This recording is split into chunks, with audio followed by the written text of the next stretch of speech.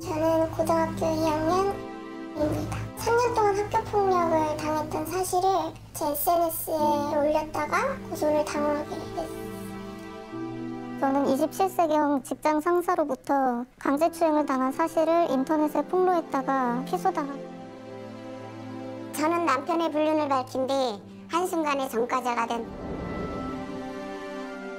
턱 교정 치료를 받고 후기글 공유했다가 치과로부터 고소당한 저는 25살이던 2020년에 명진고 측에게 네 번의 고소를 당하고 어, 1억 원을 요구하는 내용의 민사소송을 당했던 김동규라고 합니다.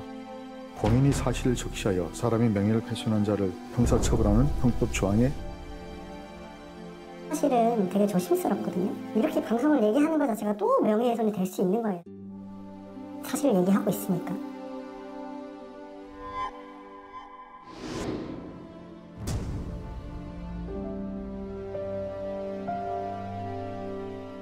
없던 일을 거짓으로 지어내야 죄가 된다고 생각하는 분들이 많을 겁니다. 그런데 사실을 말했어도 얼마든지 처벌을 받을 수 있습니다.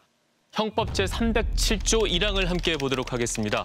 공연히 사실을 적시하여 사람의 명예를 훼손한 자는 2년 이하의 징역이나 금고 또는 500만 원 이하의 벌금에 처한다. 이렇게 명시돼 있습니다. 저희 PD수첩은 수많은 사실 적시 명예훼손 판결문을 검색 열람한 뒤에 유죄를 선고받은 사람들을 수소문해봤습니다. 학부모, 직장인, 주부 대부분 평범한 시민들이었는데요. 사실을 말한 죄로 하루아침에 범죄자가 된 사람들의 이야기를 들어봤습니다. 막장 드라마가 아닌 100% 실화입니다. 남편은 아내에게 이혼을 요구하면서 18살 어린 여성을 만나 내연관계를 맺었습니다. 남편의 외도를 의심한 아내는 사람을 고용해 남편을 미행했는데 언론에도 떠들썩하게 보도됐던 가정사. 억울했던 이진숙 씨는 2019년 팻말을 들고 거리에 섰습니다. 20년 세월 바치고 30억 내 전 재산 전부 바쳤는데 채무 갚을 남은 내 특유 재산마저 빼앗으면 나는 죽으라는 것인가.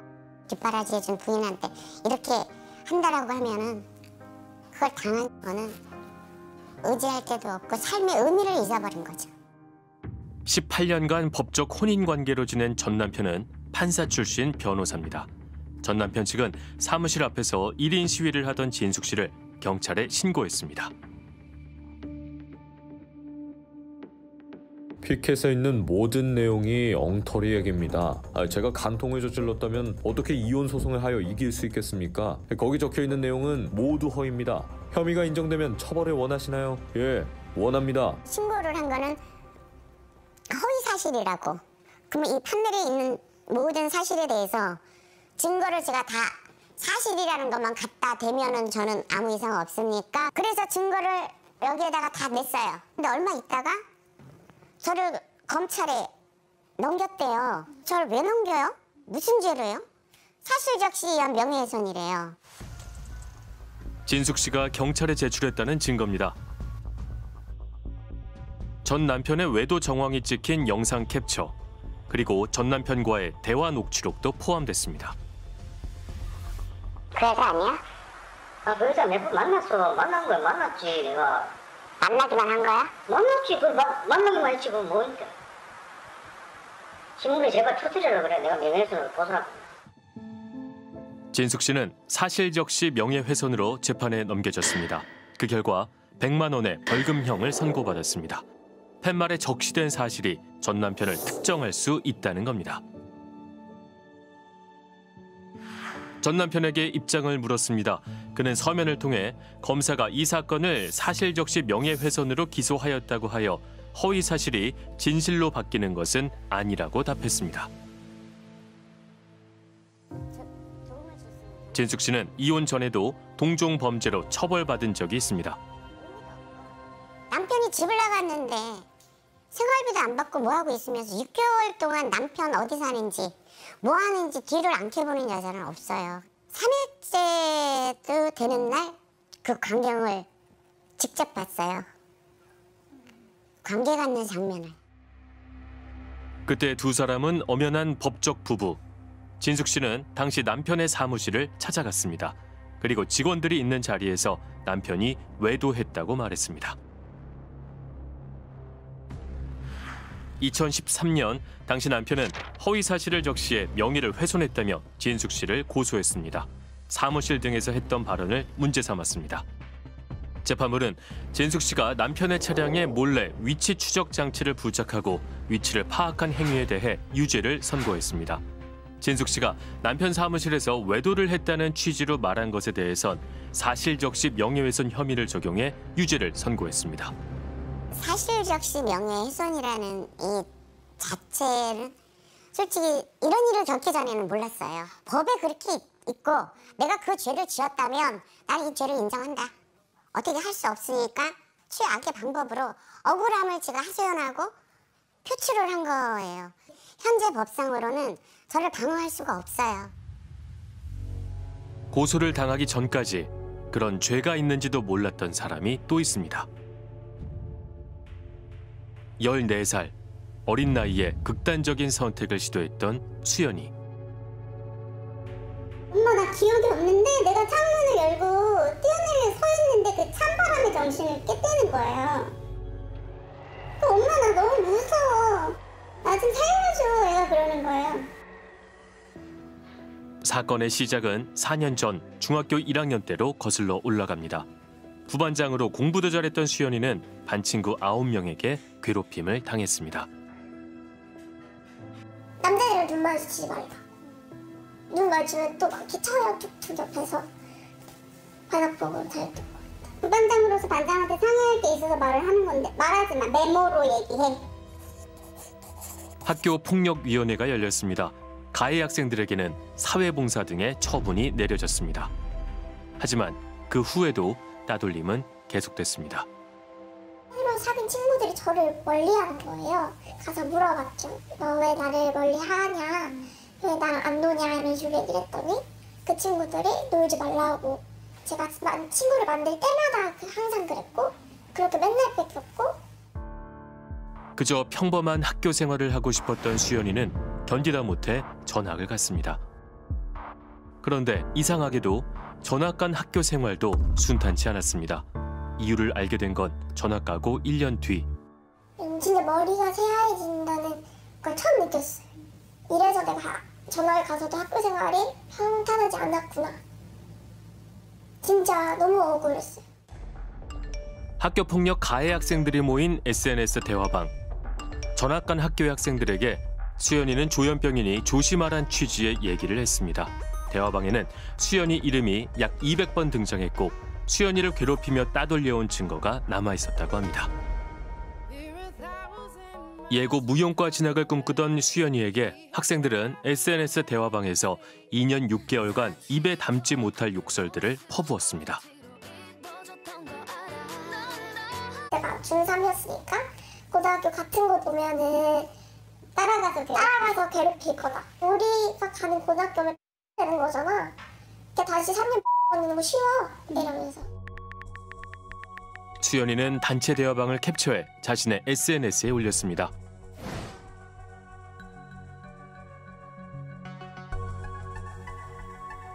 (2020년 12월) 학교폭력 대책 심의위원회가 열렸습니다. 수연이는 피해자인 동시에 대화방 내용을 공개한 가해자로 처분을 받았습니다. 어, 학생들 간의 사이버상에서의 험담이라든가 모욕, 협박 그런 언어 폭력 관련된 사안으로 접수가 됐고요. 피해 학생, 가해 학생 선도 조치가 내려진 상황입니다. 수연이 앞으로 고소장이 날아들었습니다. 수연이가 대화방 캡처를 SNS에 올려 명예가 훼손됐다며 학생 6명이 사실적시 명예훼손으로 고소한 겁니다. 묵묵부담이라고 그렇게 하세요. 그냥 꼭 답변을 해야 할 의무도 없고 권리도 없잖아요. 수연이는 비방할 목적이 아니었다고 말합니다. 정신병자 같고 조현병 환자 같고.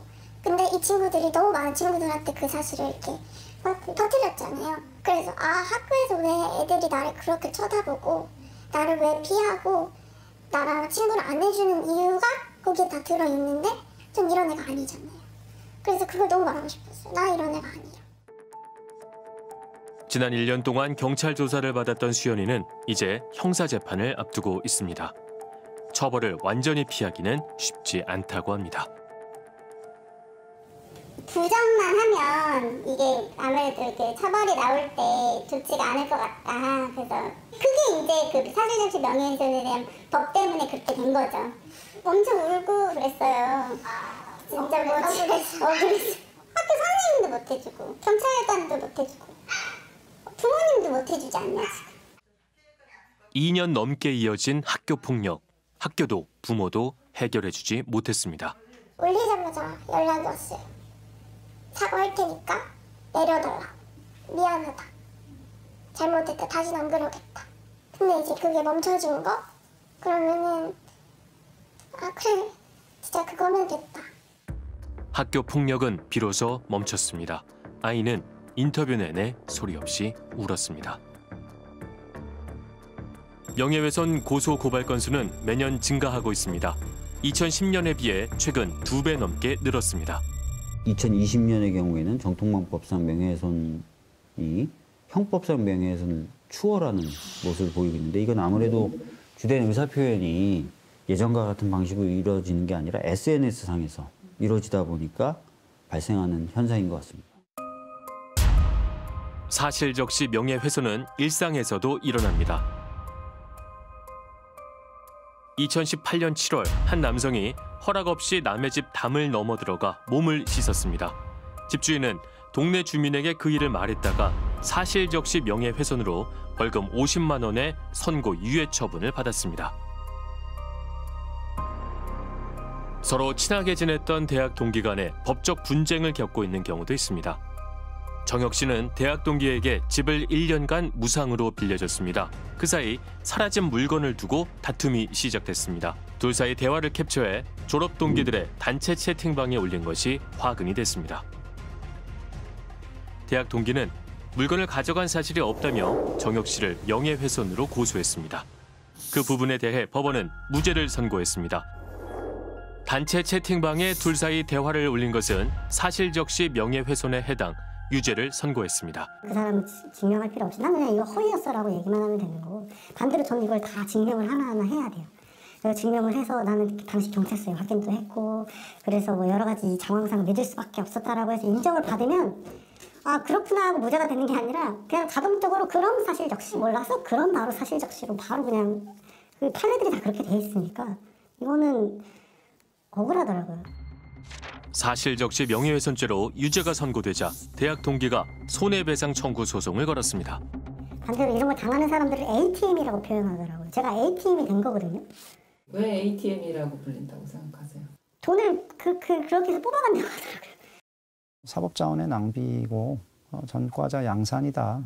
변호사 비용 하나도 안 들이고 어, 경찰에 고발하는 것만으로 이 국가 형사 자원을 동원해서 어, 상대방을 압박할 수 있고 어, 그리고 법 자체가 아, 매우 말한 사람에게 불리하게 돼 있기 때문에 그렇게 해서 또 이기기 아주 쉽게 돼 있고 사실적인 명예훼손이 있는 한 아, 좋은 식당이나 뭐 좋은 병원 찾아다니려고 서로 정보를 교환하는 분들은 전부 다 지금 잠재적인 범죄 상태에 지금 놓여 있습니다. 자신의 사회적 평가를 떨어뜨리는 표현을 진실이라고 인정하는 사람은 아마도 별로 없을 겁니다. 처음에는 허위 사실 적시에 의한 명예훼손으로 고소한 뒤에 사실적시 명예훼손으로 기소가 되고 민사소송까지 이어지는 경우가 여러 사례에서 보였는데요. 저희는 이런 사례를 추적하던 중에 그간 언론에 알려진 것과는 다른 상황을 접하게 됐습니다. 지난 2016년 축구 국가대표로 활약했던 김병지 씨가 기자회견을 열었습니다. 진실의 왜곡으로 인하여 잘못 발생되어진 부분에 너무나도 잔인하고 방해합니다. 반드시 밝혀야 할 진실들이 있기에 저는 용기 내어 이 자리를 마련했습니다. 김병지 선수의 아들이요. 이 지금 이제 폭행 논란에 휩싸여 있는데 해당 아이가 볼풀장에서 저희 아이한테 여덟 아홉 개 공을 던졌고 저희 아이는 하지 말라고 했는데도 계속하자 공을 하나를 더 던졌습니다. 그런데 그 공이 그 아이의 머리 쪽을 맞아서 그 아이가 울면서 저희 아이 가슴 위로 깔고 안고 얼굴을 핥히게 된 것입니다. 김병지 씨는 쌍방 폭행이라고 주장했습니다. 그날 사건에 있어서 어떤 발단은 누가 되냐 이런 건데 그러니까 먼저 가슴에 맞았어요. 그러다가 이제 넘어지면서 어차피 자기도 방어를 해야 되니까 얼굴을 하겠다라고 얘기를 하더라고요. 피해 아동의 어머니가 거짓말을 하고 있다며 목소리를 높였습니다. 거짓된 내용들로 현실과 사이버 공간을 오고 가며 이것저것의 거짓을 터뜨려 여론의 문맥까지 막게 되었습니다.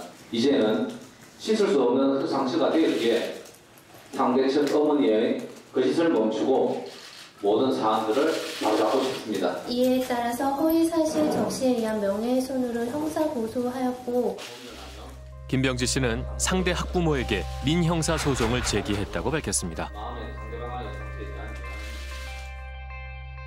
판결은 어떻게 나왔을까?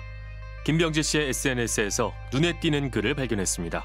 3년 만에 받아든 학교 폭력의 진실, 원고 승이라고 적혀 있습니다. 댓글에는 상대 학부모가 피해자인 척했다며 이제 진실이 밝혀졌다는 반응이 줄을 이었습니다. 김병지 씨에게 연락해 판결에 대해 물었습니다. 진실을 밝혀야 되니까. 네. 네, 그래서 나중에 어쨌든 학교 폭력은 무효가 됐고. 네. 왜냐하면 일방적인 폭행이 아니었으니. 그런데 해당 판결문을 직접 확인한 결과 김병지 씨의 말과는 달랐습니다. 당시 사건으로 학교폭력위원회가 열려 김병지 씨 아들의 반교체가 결정됐는데 그때 학폭위 위원 구성에 절차적 하자가 있어 반교체 처분이 무효가 된 겁니다. 김병지 씨는 상대 학부모의 거짓과 허위를 밝히겠다는 글을 써왔습니다. 그런데 관련 판결문을 살펴보니 기자회견 때 김병지 씨의 주장과는 달리 사실 적시 명예훼손으로 재판이 열렸습니다. 재판부는 상대 학부모가 전단지를 보여주며 서명을 받은 것 하나만 유죄로 봤습니다. 방송사 인터뷰를 한 것과 인터넷에 글을 올린 것에 대해선 모두 무죄를 선고했습니다. 사실을 이야기하여 명예훼손한 경우에 어, 처벌을 안 받게끔 하는 안전장치라는 걸 마련해뒀어요. 공공의 이익을 위해서는 이런 사실을 널리 알려야 돼라는 목적과 의도를 가지고 어, 그런 표현 행위를 했을 때는 사실을 들어서 명예훼손하는 경우에 처벌되지 않, 않는 그런 조항을 두고 있습니다. 예. 김병지 씨는 손해배상 청구 소송도 제기했습니다. 민사재판부는 사실 적시 명예훼손 유죄 부분만 인정해 1억 원이 아닌 1천만 원을 배상하라고 판결했습니다. 김병지 씨의 아들이 지속적으로 폭행했다는 부분은 사실에 기반한다고 판단했습니다. 재판이 끝나고 나서도 그쪽에서는 계속 제가 허위 사실을 유포했다고 이제 얘기를 했고 대부분의 사람들이 그렇게 알고 있어요. 이제 그런 부분이 많이 억울하고 김병지 씨에게 사실 적시 명예훼손 판결에 대한 입장을 물었습니다. 그는 잊고 살아가고 있다며 상대방 가족에게도 상처가 될 수 있지 않겠냐고 답해왔습니다.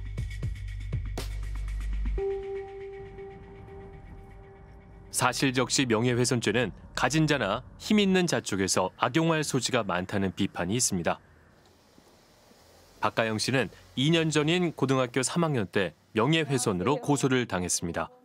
지인 동규 씨는 당시 상황을 뚜렷이 기억합니다. 학생을 고소했다고 하면서 너무 이해가 안 되는 거죠. 그 상황 자체가. 고소 당할 건 진짜 생각하지도 못했어요. 제 상상, 그러니까 상식 밖의 일이었어가지고 고소를 한 사람은 가영 씨가 다니던 명진 고등학교의 재단 이사장이었습니다.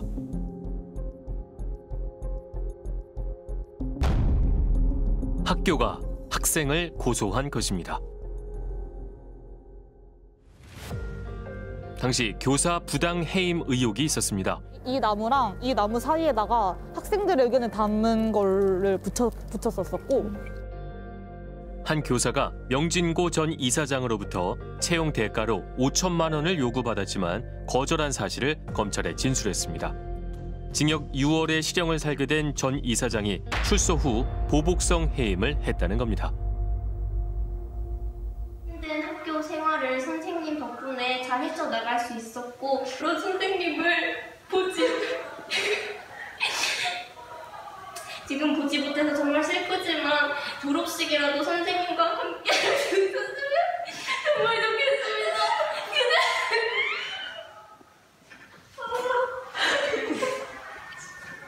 선생님 보고 싶어요. 잘못된 것을 바로잡기 위해서 목소리를 내기 시작했습니다. 그러나 돌아올 것은 의견 묵살과 인권 침해였습니다. 학생들이 교사 구명 운동에 나서자 학교 측은 거칠게 반응했습니다. 이렇게 하면 되겠어? 일단 지금 저희 자유니까 이건 침해하지 않아주셨으면 좋겠습니다. 아니면 자유라는 것은 남을 불편하게 하는 자유인데 선생님의 부당 해임을 알리기 위해 보도 자료를 써서 배포하고 현수막을 만든 가영 씨. 학교 측이 명예훼손으로 고소한 겁니다. 고소장을 받으니까 제가 뭔가 잘못했다라는 거를 스스로에게 되묻게 되고 계속 끊임없이 자기 검열을 했던 것 같아요. 우리가 하고 있는 일은 옳은 길이다. 절대 틀리지 않다라는 거를 계속 세뇌했던 것 같아요. 스스로에게도 그렇고 친구들에게도 그렇고. 가영 씨는 학교가 학생을 고발했다는 글을 붙였습니다. 학교 측은 그 옆에 학생을 절대 고소한 적이 없다는 글을 붙였습니다. 그러자 가영 씨는 고소장 복사본을 부착했고 학교 측은 고소를 취하했다고 써서 붙였습니다.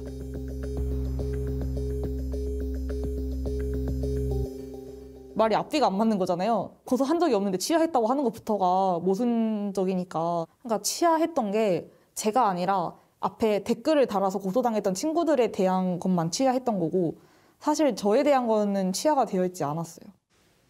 이 사건은 2020년 국정감사에서도 다뤄졌습니다. 교사 해임하고 학생들을 고발한 학교가 어디 있습니까 도대체? 어떻게 학교가 학생들을 고발합니까? 그게 법대로 하는 거예요? 야, 한 말씀만 저 거시기 이런 데에서 말씀을 드려도 정말 모르겠다. 맞고 밖에만 살아왔습니다. 맞고 밖에만. 상대방 의견을 존중해가면서 비난 여론이 일자 학교는 가영 씨에 대한 고소를 취하했습니다. 그런데 학교 측이 고소한 사람은 또 있었습니다. 학교 재학생 세 분, 그리고 어, 졸업생 한 분, 다른 학교 어, 고등학교에 다- 다니시는 분한분 당하시고 이 시민단체였던 학벌 없는 사회의 대표님, 그리고 교사 노동조합의 위원장님 해가지고 총 12분 정도가 이제 고소를 당하셨습니다. 어, 괴롭히는 거거든요, 사실은. 알고 있을 거예요. 어떤 식으로 괴롭게 만드는 것인지. 가영 씨를 도와 현수막을 걸고 인터넷에 명진고를 비판한 김동규 씨도 고소를 당했습니다. 고소장에는 허위 사실 적시에 의한 명예훼손이 아니라도 사실 적시 명예훼손으로 처벌 대상이라고 적혀 있습니다. 어, 이게 당해보지 않으면 모릅니다. 정말 한 번의 고소는 3개월 정도의 삶이 망가지는 것 같아요.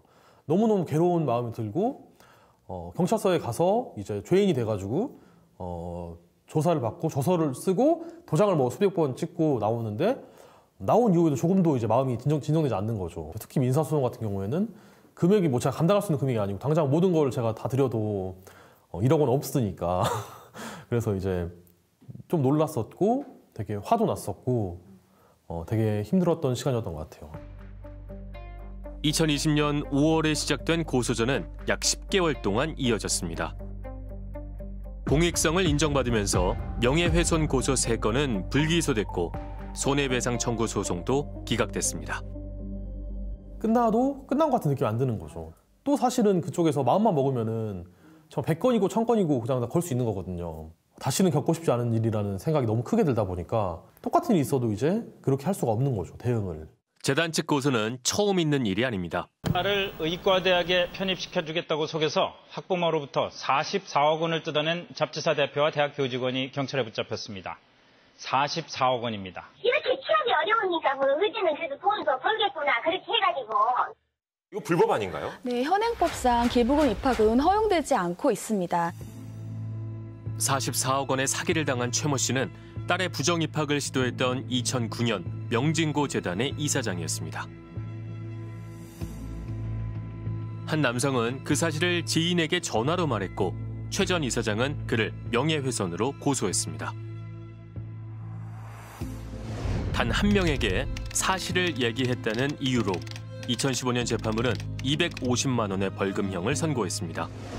이사장으로서 도덕성이 없다는 취지의 발언으로 해석돼 사회적 평가를 저해야 할 가능성이 있다는 것. 알려진 사실이라 해도 이름을 밝힐 때는 사실적시 명예훼손죄가 성립한다고 했습니다.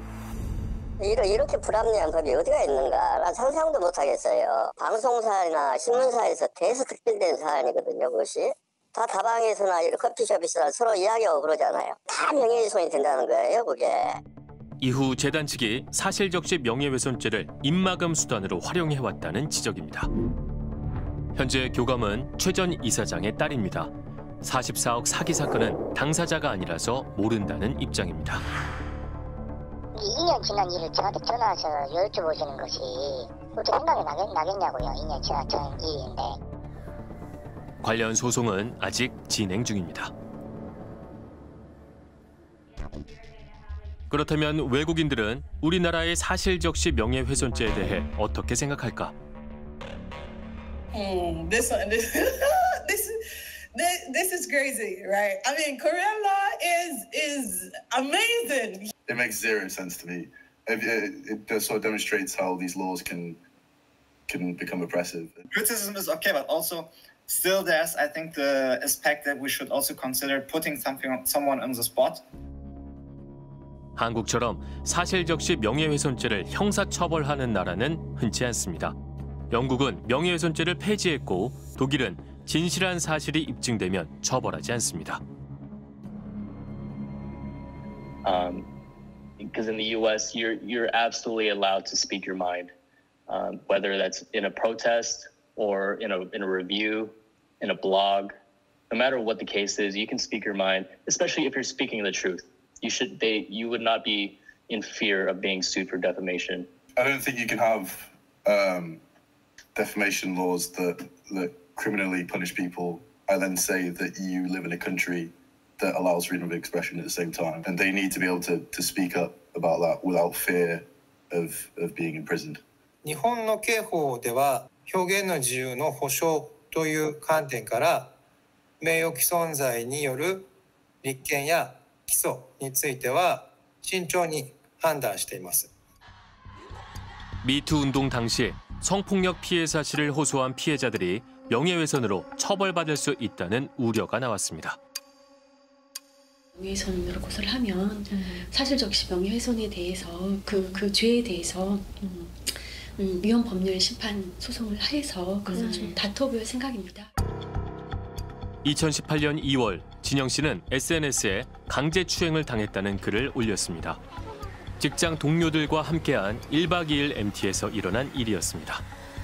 펜션 내 3층 숙소에서 술을 먹고 머리가 아파 방에 누워있던 저에게 키스를 하고 레지어도 올리고 제을 주물렀고 제가 입고 있던 청바지의 지퍼를 내리고 안으로 손을 넣어 제를 만졌습니다. 가해자가 제 몸을 더듬으려고 할 때 제 두 손으로 그 사람 손을 빼려고 했지만 힘에서 제가 밀렸습니다. 그는 한 방송사 기자로 당시 팀장이었습니다. 강제 추행 후 속옷 안에서 그의 손에 붙어있던 앞봉이 나왔다고 합니다. 사람이 그냥 부서진다고 생각하시면 맞을 거예요. 그리고 음, 그러니까 이게 24시간 제 머리에서 안 떠나는 거예요. 그거 겪고 최소 몇 년 동안은 이제 어디에 있어도 그 생각이 나고 심지어 잠을 자면 그게 꿈에 나와요. 사건이 있었던 2012년 계약직 리서처로 일하며 기자를 꿈꾸던 27살 진영 씨는 공론화할 엄두를 내지 못했습니다. 미투 직후 기자는 감사를 받게 됐습니다. 감사가 시작되고 3주 뒤 기자는 진영 씨를 명예훼손으로 고소했습니다. 검찰에서 검찰 조사하고 그럴 때까지 모든 게 스톱이 됩니다. 그러니까 그때 당시 여론도 죽는 거예요. 이게 허위사실 적시 명예훼손으로 처벌이 되지 않을 경우에는 사실 적시 명예훼손으로 처벌해달라고 하더라고요. 이게 거짓이어도 처벌하고 사실이어도 처벌해라 이렇게 되니까 그때는 진짜 제가 빠져나갈 길이 없다는 생각이 들더라고요. 기자는 고소장에 허위 사실의 입증이 어려울 경우 사실적시 명예훼손으로 처벌해달라고 적었습니다. 그리고 진영 씨가 추행 사건을 고소한 후 스스로 고소를 취하해 불기소 처리됐다고 주장했습니다. 하지만 고소를 취하한 진짜 이유는 그게 아니었습니다. 경찰이 조사를 하기 시작하면 걔들이 우리 회사에 통보를 하게 되면 그거를 우리가 우리 내가 우리들이 어떻게 수술이고 싶어도 그 상황을 어떻게 할 수 없게 돼. 오늘 좀 가서 해주라. 그러면 너무 걷잡을 수 없어 이제 부탁할게 내가. 내일 오전에 좀 갈 수 있어? 자신 자신은 없는데. 아 미안한데 그러면 자기가 그 형사랑 통화라도 한번 할래. 오늘 걔들이 서류 같은 거 우리 보- 보내면 곤란해지거든. 얘 취하겠다고 항상 그 말 좀 한번 확인을 해줘. 제가 너무 힘이 들었어요. 계속 그렇게 주변에서 고소를 취하라는 얘기도 하고 가, 뭐 가해자도 와가지고 사과를 하고 앞으로 회복이 되는데 뭐 최선을 다하겠다 뭐 그런 얘기를 하고 그러니까 예 뭐 아, 이쯤 하자 더 못 버티겠다 해서 이쯤 만에 치아를 한 이후에는 어떻게 되는 거야? 사과를 했던 거를 조목조목 다 취소하더라고요. 검찰은 명예훼손에 대해 혐의가 없다고 결론 지었습니다. 당시 사회적으로 미투 운동이 활발하던 상황에서 그 운동에 동참한 것이라며 주된 목적이 공공의 이익을 위한 것이므로 죄가 되지 않는다고 밝혔습니다. 미투에 참여한 것이기 때문에 공익에 의한 위법성 조각으로 죄가 되지 아니하면 그게 이제 그네 줄이 없어지면 저는 유죄가 되겠죠. 유죄가 된다. 그렇죠. 예. 해당 기자에게 연락해봤습니다. 여보세요. 예. 아 기자님 되시나요? 예. 그 저희 프로그램에서 사실적시 명예훼손 관련 아이템 통화 도중에 전화를 끄는 기자. 문자 메시지도 보냈지만 답은 없었습니다. 그 건드려질 때마다 고통스러운 생각이 들죠. 다만 예, 적어도 잘못한 사람이 잘못했다는 거를 좀 인정을 받고 싶어요. 여전히 나는 진심 어린 사과를 받은 적이 없기 때문에 없죠. 예. 회복할 수 없는 피해죠, 이거는. 누가 저한테 10년이라는 시간을 더 주고 뭐 27, 28, 29의 삶을 다시 줄 수 있겠어요.